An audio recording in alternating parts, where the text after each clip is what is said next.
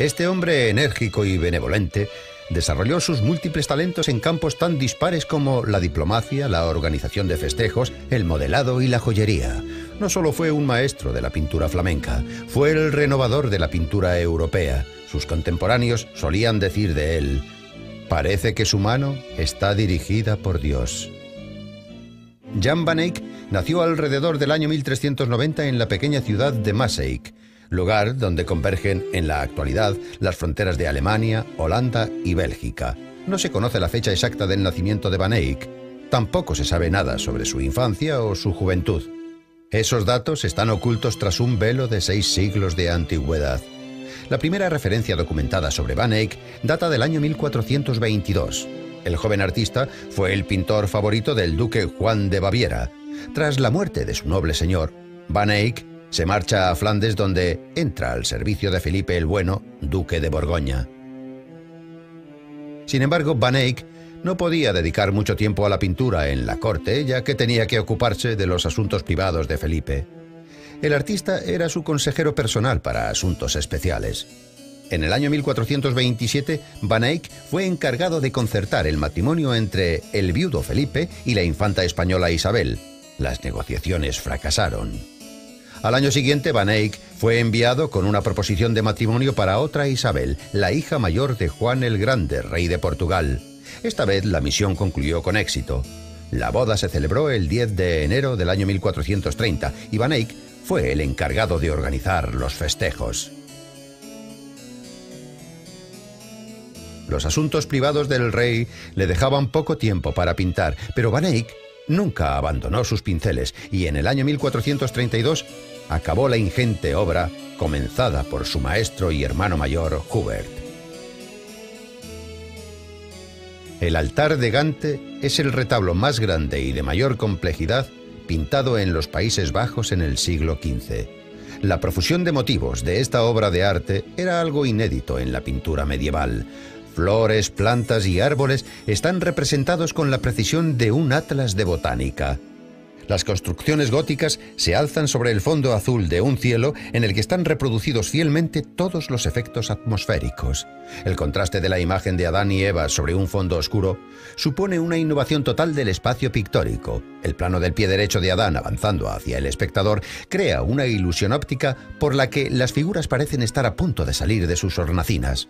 Piedras preciosas, brocados y ricas telas están reproducidos de forma tan precisa que parecen reales.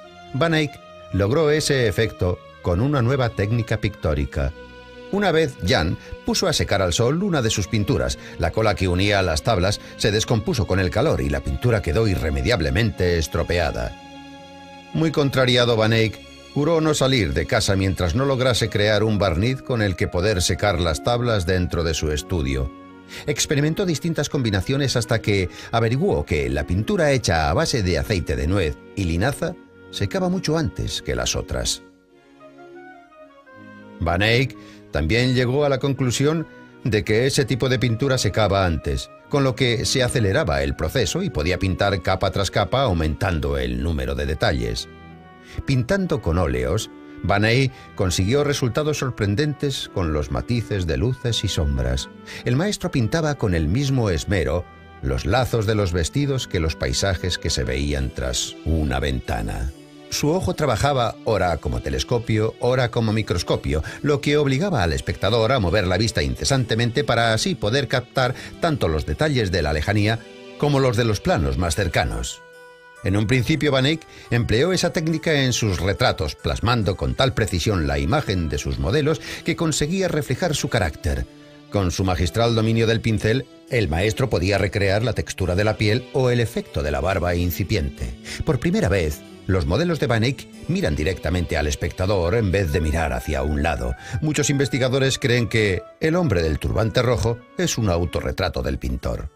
En sus pinturas, objetos reales simbolizan lo divino y lo espiritual va unido a lo real. De este modo, en el retrato del matrimonio Arnolfini, una de sus pinturas más conocidas, la única vela de la lámpara simboliza la presencia divina y la sarta de cuentas de cristal de la pared simboliza la fidelidad.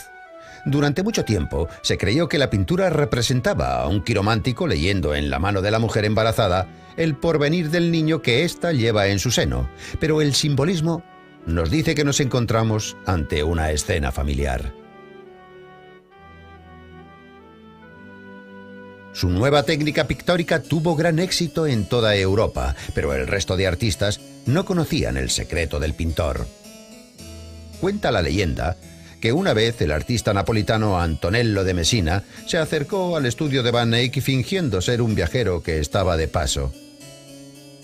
El astuto italiano entretenía al maestro con historias sobre Italia mientras observaba su método de trabajo. Al cabo de unos meses, Messina desapareció, regresó a su tierra y se enriqueció pintando una serie de obras con una nueva técnica que le permitía matizar las luces y las sombras. Felipe el Bueno, duque de Borgoña y señor del gran pintor flamenco Jan van Eyck, decía a menudo, es un artista sin parangón. Tras la muerte de Van Eyck, en el año 1441, Felipe el Bueno concedió a la viuda del pintor una renta anual muy elevada para la época. Como señal de reconocimiento a los méritos de su marido y como muestra de nuestro dolor por tan inesperada pérdida. El gran maestro del Renacimiento del norte de Europa, Jan van Eyck, estampó en muchas de sus obras la siguiente reseña. Hice lo que pude. Antigüedad. La primera referencia documentada sobre Van Eyck data del año 1422. El joven artista fue el pintor favorito del duque Juan de Baviera.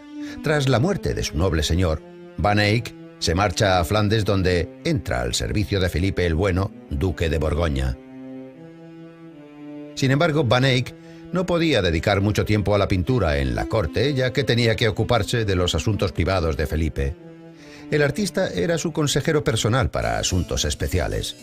En el año 1427, Van Eyck fue encargado de concertar el matrimonio entre el viudo Felipe y la infanta española Isabel.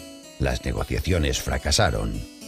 Al año siguiente, Van Eyck fue enviado con una proposición de matrimonio para otra Isabel, la hija mayor de Juan el Grande, rey de Portugal. Esta vez la misión concluyó con éxito.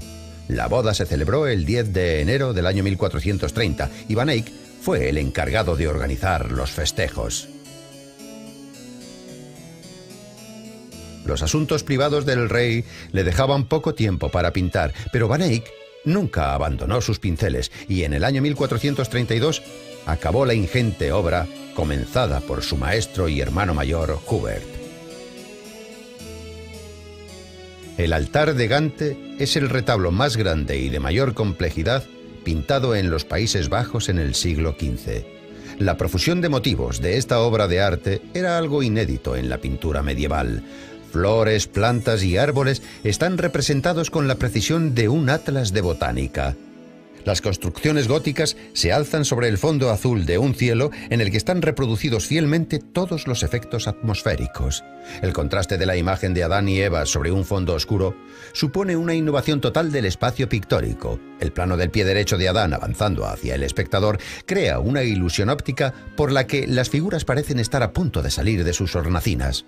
Piedras preciosas, brocados, y ricas telas están reproducidos de forma tan precisa que parecen reales.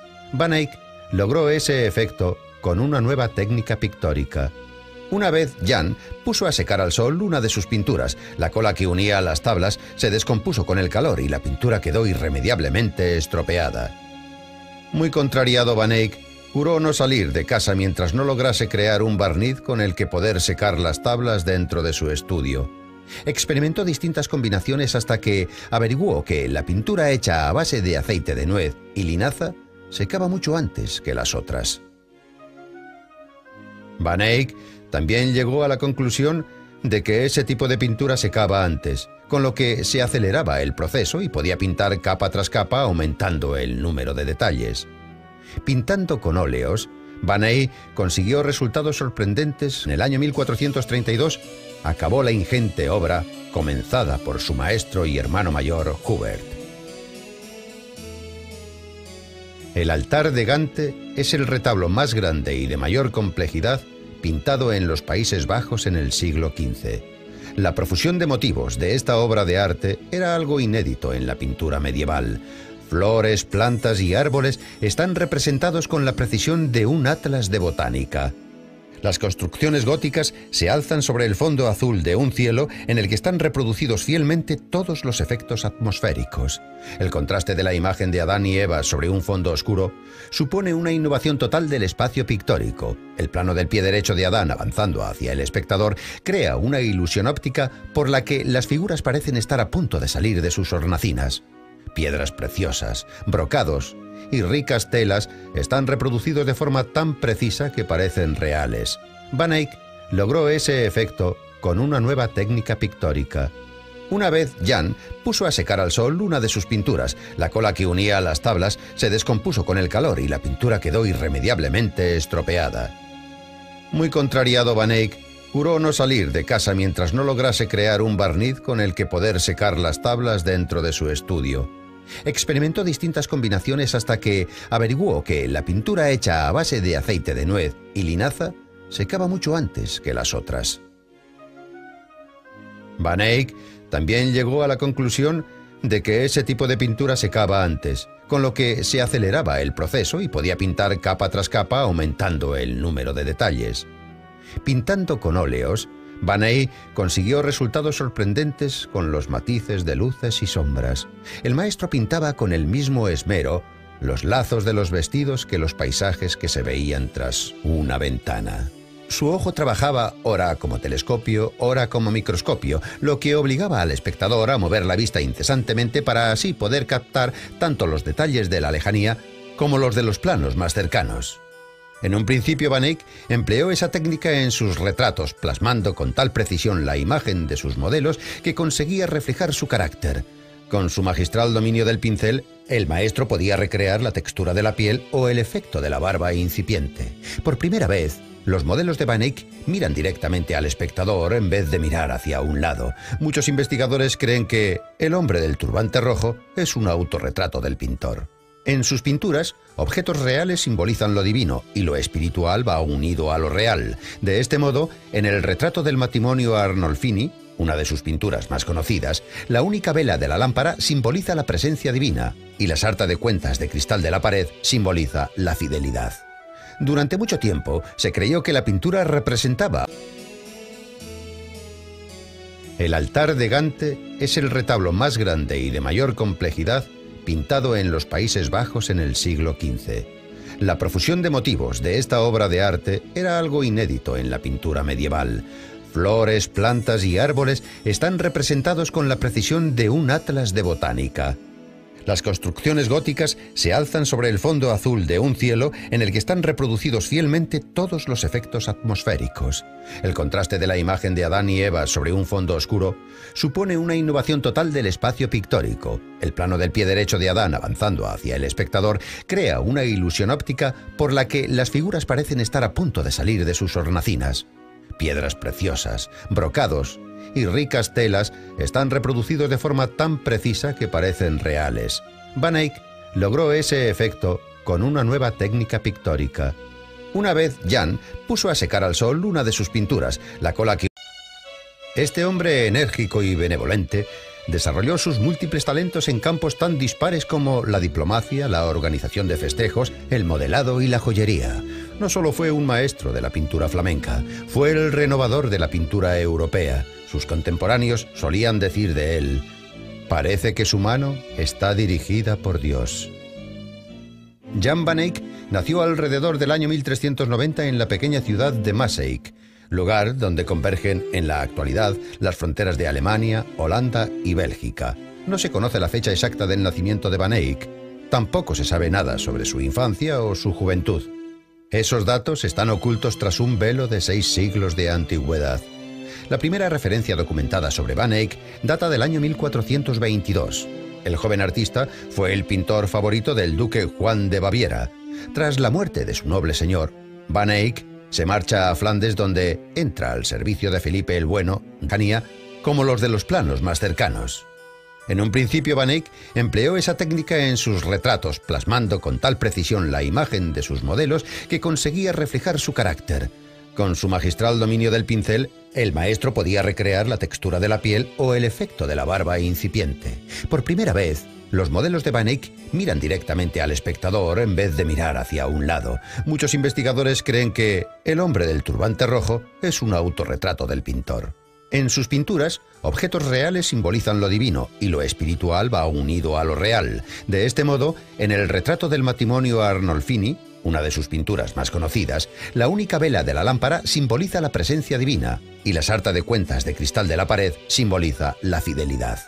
Durante mucho tiempo se creyó que la pintura representaba a un quiromántico leyendo en la mano de la mujer embarazada el porvenir del niño que ésta lleva en su seno, pero el simbolismo nos dice que nos encontramos ante una duque de Borgoña. Sin embargo, Van Eyck no podía dedicar mucho tiempo a la pintura en la corte, ya que tenía que ocuparse de los asuntos privados de Felipe.